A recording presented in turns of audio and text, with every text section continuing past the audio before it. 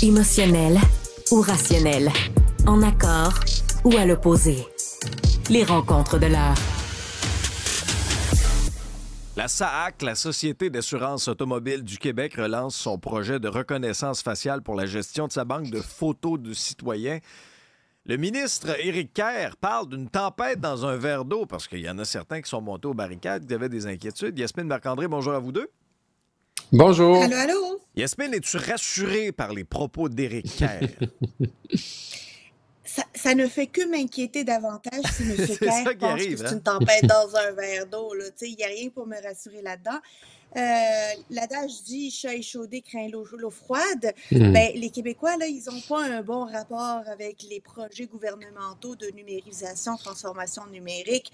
Là, quand on se lance dans la reconnaissance faciale, euh, on est en droit, disons, c'est très légitime que d'avoir des inquiétudes.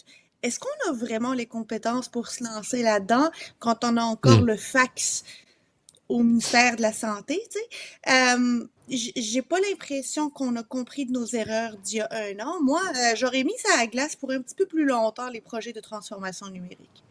Oui, parce qu'on se souviendra, Marc-André, là, du- des, des débuts difficiles de sa clique, je vais le dire comme ça. Là. Oui. Ça s'est amélioré, là, mais disons comme Ça première pas. impression, on repassera.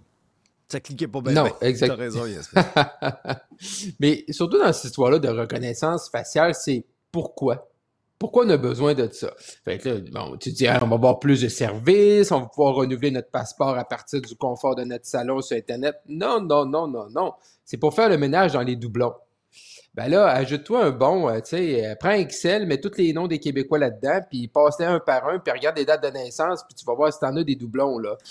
C'est là que je comprends pas. Ça prend la reconnaissance faciale pour faire un ménage dans ta base de données. Puis je comprends, là. Il doit y avoir des.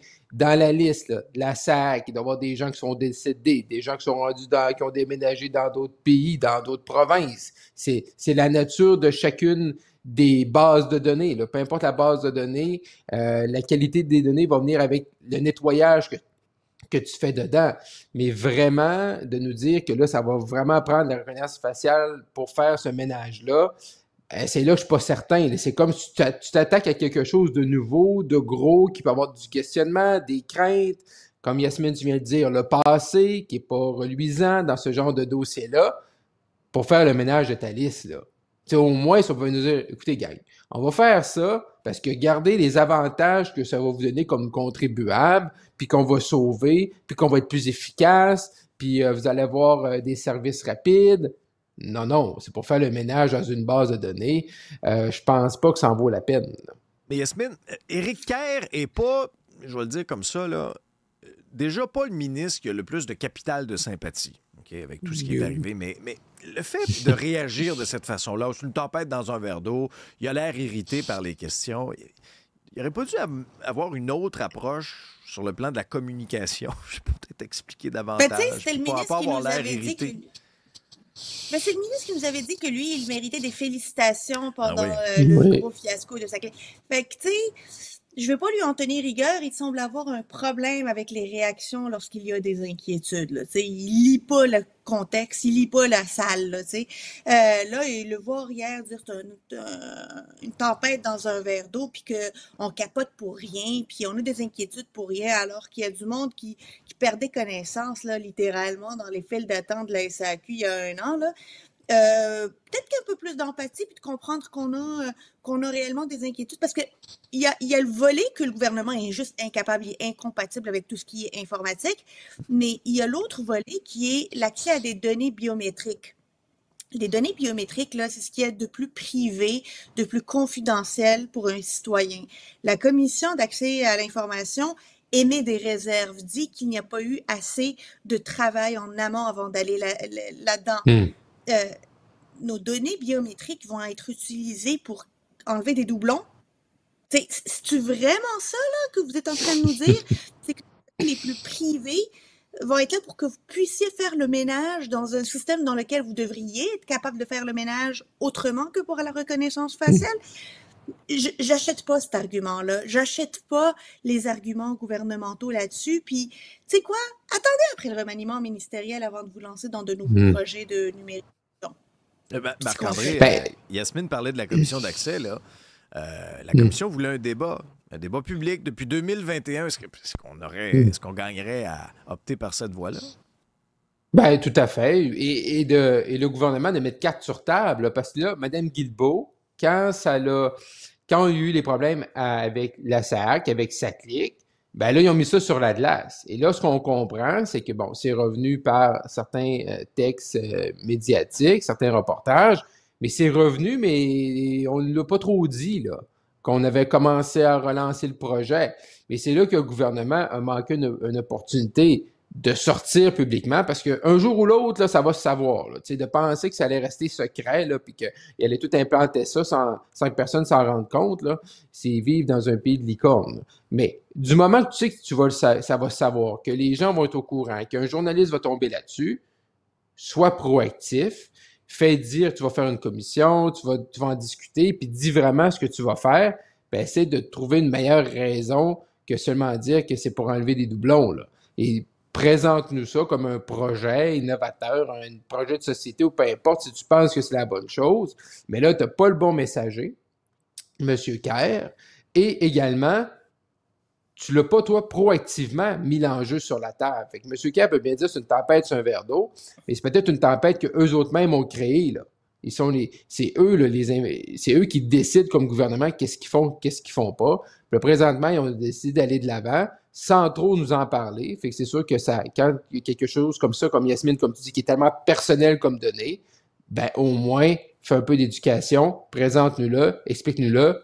On n'est pas capable à temps plein. Non, non, c'est sûr que c'est sensible, c'est une question sensible. Il y, a, il y a un élément, là, moi, qui continue à me chicoter, j'en ai parlé dans ma chronique euh, ce matin dans le journal pourquoi on a les priorités à mauvaise place? Tu sais, à la SAQ, on est rendu à reconnaissance faciale alors qu'on a encore le fax dans le système de santé et mhm. qu'on ne l'a pas éliminé. On peut-tu commencer par s'attaquer au fax avant d'arriver aux données biométriques et hmm. leur gestion? Je dis ça, je dis rien. Ah. On, a, encore un ici aussi. ah non, c'est ça. Je ne savais pas souvent, mais on l'a au cas où. D'un coup, qu'Éric veut nous envoyer un message.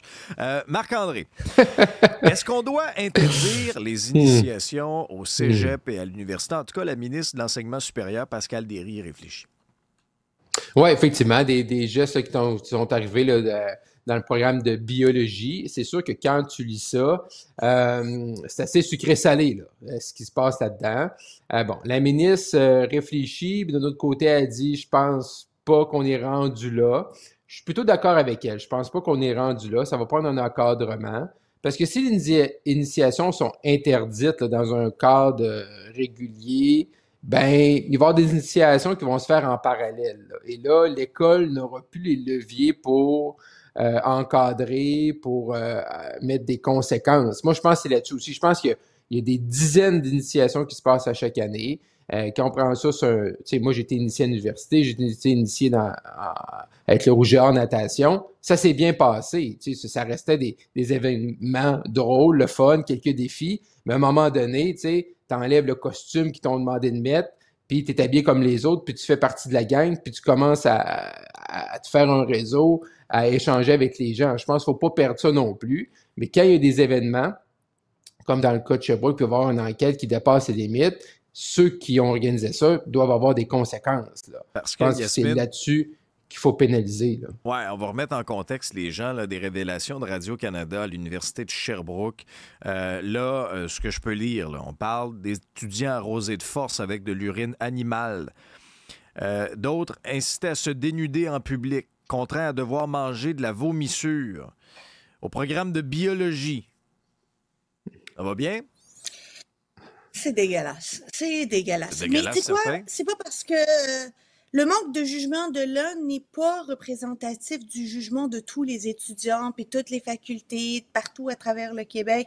Puis moi, j'embarque pas dans cette euh, dans ce réflexe-là qu'il faut interdire tout dès qu'il y a quelqu'un qui dérape là, parce que euh, on n'en finirait pas.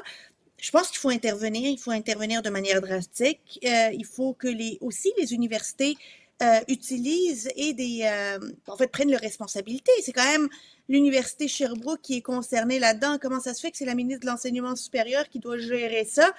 Euh, Il faut que ce soit l'université qui gère ça, puis ça fait qu'il n'y a pas de débordement. Mais des débordements, il y en a, il y en aura, il y en aura pour toujours. Mmh. Il faut s'assurer et sensibiliser que ce n'est pas correct, que ce n'est pas acceptable que ça soit fait dans un cadre universitaire, un cadre dans l'établissement. Mais je préfère euh, garder pour la grande majorité des initiations qui ont de l'allure, qui sont drôles, qui sont correctes, que de pénaliser tout le monde parce qu'il y a euh, deux, trois taouins qui ont manqué de jugement. Là. Parce que là-bas, on l'a échappé solide. Mais tu sais, moi, le, souvenir que je garde de, de, mon initiation, par exemple, au collège, euh, programme de journalisme, il fallait qu'on se fasse un costume en papier journal. J'ai pas, été pas été traumatisé. non, ça va. Ouais, mais c'est sûr, mais, mais c'est sûr que des fois, il y a une espèce de surenchère hein, qui arrive. une année, toi, t'es là, là, toi, ceux-là, là, en biologie à Sherbrooke, l'histoire de l'urine animale, là, ça a l'air d'être un rituel. Parce qu'autant en 2023, ça serait fait également en 2019 dans d'autres témoignages. Ben là, tu sais, d'année en année, tu, tu rajoutes là, c'est une couche. Et moi, là, j'ai goûté, les prochains vont goûter. Faut pas que tu rentres dans cette, dans cette espèce de pattern-là, parce que année, tu tu t'en vas où, là? Yasmine, on n'est pas les seuls à faire des déficits au Québec avec notre 11 milliards. Les Ontariens aussi, bon, un petit peu plus petits. 9,8 milliards, mais on, prévoyait pourtant faire un petit surplus. Hey, euh, les Ontariens sont tombés de haut, là, du surplus au déficit de 0,2 milliards de dollars de surplus, finalement 200 millions de dollars de surplus à 9,8 milliards de déficit. Euh, je hmm. pense que François Legault, ça il fait un petit velours euh, de savoir qu'il n'est pas le seul à l'avoir échappé, puis que même Doug Ford, le conservateur Doug Ford, l'a échappé à côté. Et euh, laisse-moi dire qu'il va probablement sortir cette phrase-là en, en, période de questions dans les prochains jours, si ce n'est pas aujourd'hui pour dire, regardez, on n'est pas pire que d'autres. Là. Exactement la hmm. même chose est arrivée en Ontario. Fait que, qu'est-ce que vous voulez c'est mauvais, c'est l'incertitude générale. Marc-André? Mais le plus drôle, c'est que le ministre de l'Ontario, il a utilisé le Québec dans, dans une de ses réponses ah, oui? Ben, au Québec, c'est 11 milliards. Au Québec, c'est 11 milliards. Fait que toi, à 9,8. Quand on, se compare, on, se Oui, puis euh, également l'Ontario, en termes de population, il y a plus de monde. Mais c'est quand même fascinant de voir, tu veux faire un petit surplus, tu passes à 9,8 milliards. Pour 25-26, on pensait faire un surplus de 4,4, on fait un déficit de 4,6. Euh, ça ressemble beaucoup au Québec. Moi, ce que je commence à m'inquiéter, c'est le 16 avril au fédéral. Eh Et là, M. Trudeau, un peu, un peu, Ouais, un peu inusité aujourd'hui. M. Trudeau commence. une espèce. Habituellement, tu sais, dans, dans, les, dans les budgets, c'est annonces son budget, puis les journées précédentes, suivantes plutôt, les journées suivantes, tu fais ton espèce de roll-out. Tu fais le tour, tu annonces. Là, M. Trudeau et Mme Freeland font le contraire. Hein. Ils commencent aujourd'hui, là, euh, puis c'est marqué tel quel dans l'avis aux médias. Là, une, une annonce en prévision du dépôt du budget. Euh, fait qu'ils vont commencer à faire des annonces présentement. Fait qu'on va pouvoir déjà commencer à calculer combien ça va coûter, combien va être le déficit des annonces qui vont être dans le budget le 16 avril. Mais c'est inquiétant qu'on pense qu'on s'enlignait vers environ 40 milliards de dollars de déficit au fédéral. Là, on va faire plein d'annonces entre aujourd'hui et le 16 avril probablement pour annoncer euh, de nouvelles mesures, qu'on voit comment le Québec est à côté de la, cible, l'Ontario également.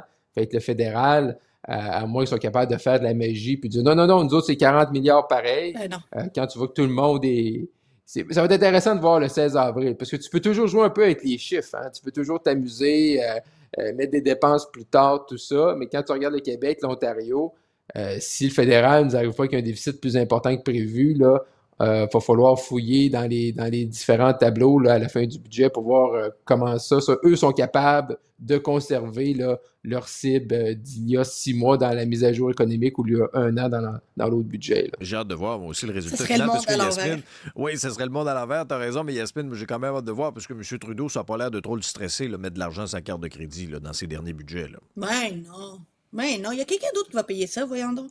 Les finances publiques, là, ça ne semble pas être quelque chose, une grosse priorité pour le gouvernement Trudeau depuis qu'il est là. là c'est comme, ah ouais, on dépense, mm-hmm. ah ouais. En fait, la seule fois où il commence à s'intéresser aux finances publiques, c'est lorsqu'il doit faire un chèque aux provinces, lorsqu'il doit payer sa part d'immigration, sa hein? là, part de Là, dans ce temps-là, il commence à y avoir une petite préoccupation là, sur les finances publiques. Mais moi, j'aimerais ça que la préoccupation sur les finances publiques soit témoignée pas juste quand il doit payer son dû, mais tout le temps dans toutes les hmm. dépenses, continuellement.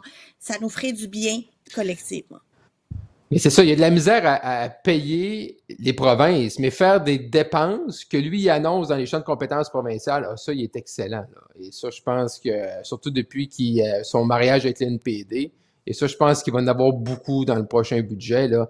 ces genres de, de, de, projets que normalement, ça va être les provinces qui devraient payer, mais que le fédéral va venir se substituer et jouer au héros là, pour euh, fournir des services et s'assurer que les Canadiens et les Canadiennes là, puissent faire face à, à l'inflation et à l'économie. Euh, on est là pour continuer On est là. d'investir. Ah, il va être là. Il va être là. Continuer. Mais c'est comme dans la vie, hein, il y a des mariages qui coûtent plus cher que d'autres, hein? Oui. Oh, Les Ben divorces oui, aussi. eh oui. ça, Oh, hey, les divorces aussi. Merci, Yasmine et Marc-André. Bye bye. Ah.